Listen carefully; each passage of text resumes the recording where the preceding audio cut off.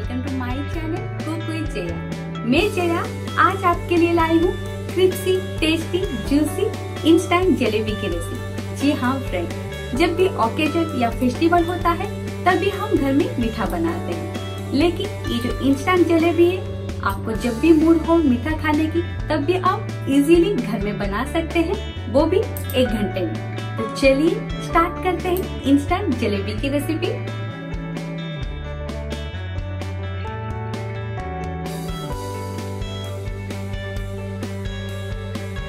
Instant jalebi बनाने के लिए पहले बैटर बनाएँगे बैटर बनाने के लिए मैंने यहाँ पर वन कप मैदा ली हूँ मैदे को मैंने अच्छे से छान ली हूँ अभी मैदे को बाउल में डाल देंगे वन टीस्पून देसी घी डालेंगे देसी घी डाल के अच्छे से मिला लेंगे मैदे को घी डालने से जलेबी क्रिप्स और करारी बनती है अच्छे से मिलाने के बाद उसमें वन फोर्थ कप खट्टा दही डालेंगे जलेबी के लिए खट्टा दही बहुत ही ज़रूरी होती है। अगर आपका दही खट्टा नहीं है तो उसमें वन टेबल स्पून विनेगर डालिए और अच्छे से मिला लेंगे। मैं देखो, मैं यहाँ पर गुनगुना पानी थोड़ा थोड़ा डाल के बैटर को बनाऊँगी। गुनगुना पानी डालने से बैटर में अच्छे से फर्मेंटेशन हो जाएगी। तो थोड़ा थोड़ा पानी डाल के अच्छा सा एक स्मूथ बैटर बनाएँगे। बैटर को हमें ज़्यादा थिक नहीं बनाना है या लिक्विड नहीं बनाना है। और बैटर को आप अच्छे से मिलाइए ताकि उसमें हवा भर जाए और हमारा बैटर अच्छे से फर्मेंटेशन हो जाए। देखिए, इस तरह से हमें बैटर को फ्लोइंग कंसिस्टेंसी में चाहिए। अभी हमारा बैटर अच्छे से बन गई है और उसको आधे घंटे के लिए कवर करके साइड में रख देंगे। चलिए अभी जलेबी के लिए चाशनी बनाएँगे। चाशनी बनाने के लिए मैं यहाँ पर दो कप चीनी ले रही हूँ। मैं यहाँ पर थोड़ा ज़्यादा चाशनी बना रही हूँ और दो कप चीनी में दो कप पानी ले रही हूँ। सेम क्वांटिटी में ले रही हूँ चीनी और पानी को। क्योंकि अगर चाशनी ज़्यादा बनेगी तो जलेबी अच्छे से डूबेगी चाशनी में। तो आप जब भी भी जलेबी बनाइए तो चाशनी थोड़ा ज़्यादा बनाइए और अच्छे से मिला लेंगे। जब चाशनी में अच्छे से बॉईल आ जाएगी, उसमें थोड़ा सा लेमन जूस डालेंगे। लेमन जूस डाल के अच्छे से बॉईल करेंगे चाशनी को।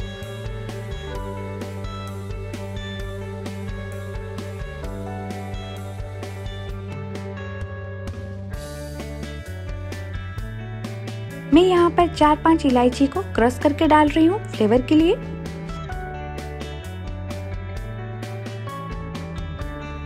थोड़ी सी केसर।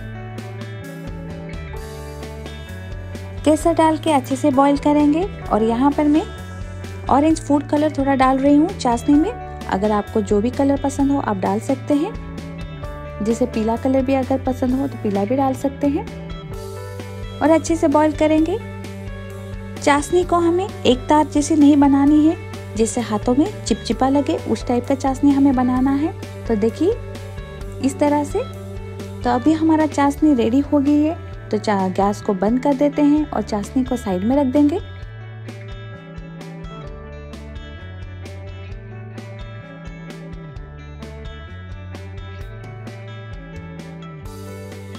चलिए अभी बैटर को चेक कर लेते हैं। देखिए, बैटर के ऊपर कैसे बबल जैसा हो गई है। इसका मतलब हमारा बैटर अच्छे से फॉर्मेटेशन हो गई है। तो अभी अच्छे से मिक्स करेंगे एक और दो मिनट के लिए। आप बैटर को जितना मिक्स करेंगे, उतना अच्छे से फॉर्मेटेशन होगा। तो अभी यहाँ पर half teaspoon baking powder डालेंगे। मैंने वन कप मैदे में half teaspoon baking powder ले रही हूँ। पाउडर डाल के अच्छे से मिला लेंगे।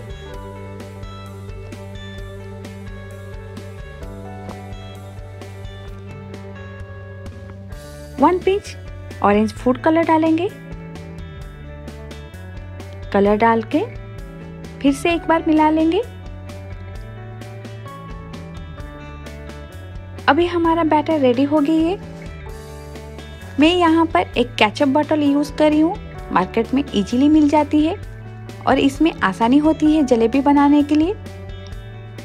तो चलिए सारे बैटर को अभी बॉटल में डाल देंगे।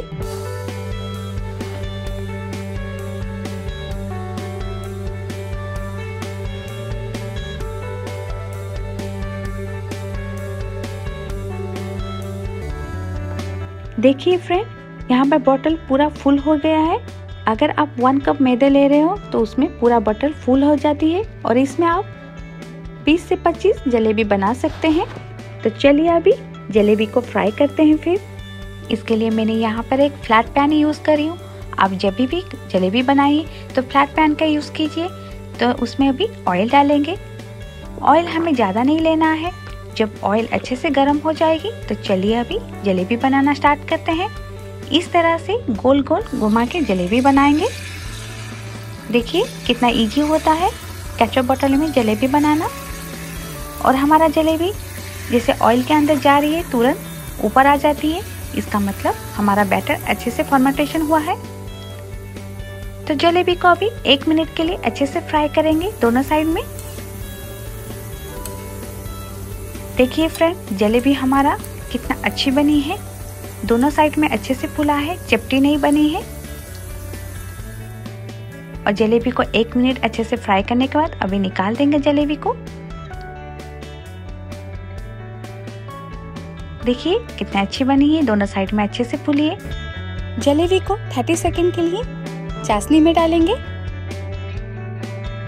और चाशनी थोड़ी गर्म होनी चाहिए। ताकि चाशनी अच्छे से जलेबी के अंदर आ जाए।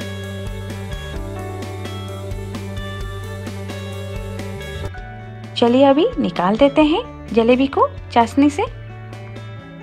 देखिए हमारा जूसीली जलेबी बनके रेडी हो गई है। इसको अभी प्लेट में निकाल देंगे। फिर से आपको एक बार जलेबी बना के दिखाती हूँ। फ्रेंड्स जलेबी बनाना इजी है, लेकिन उसका जो ट्रिक है, अगर आप एक बार सीख लो, जैसे उसका बैटर है और शुगर सिरप है, अगर आप अच्छे से जान लोगे तो आपको इजी लगेगा जलेबी बनाना। तो देखिए किस तरह से हमारा जलेबी अच्छे से फूल रही है दोनों साइड में। और वैसे एक मिनट के लिए अच्छे से फ्राई कर देंगे दोनों साइड में।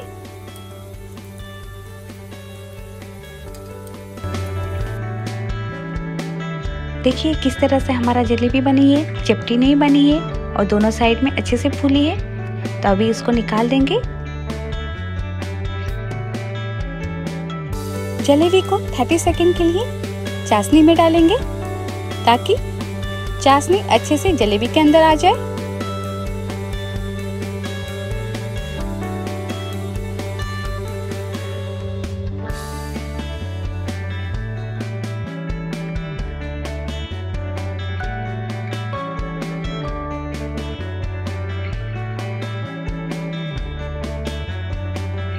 देखिए फ्रेंड अभी हमारा टेस्टी जूसी जलेबी बनके रेडी हो गई है। तो चलिए एक बार आपको दिखाती हूँ कितना क्रिप्सी बनी है। देखिए फ्रेंड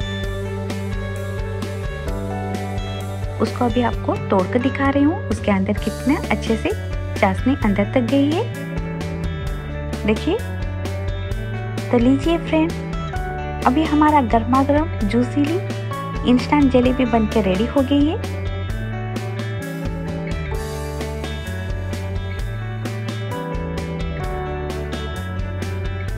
आपको कैसी लगी मेरी इंस्टेंट जलेबी की रेसिपी आप भी ट्राई कीजिए गोल गोल जूसीली जलेबी को। अगर रेसिपी अच्छी लगी तो लाइक कीजिए शेयर कीजिए सब्सक्राइब कीजिए। Don't forget to click the bell icon अगर आप मेरे चैनल को सब्सक्राइब करना चाहते हैं तो click on my photo subscribe my channel कुकुई Jaya thank you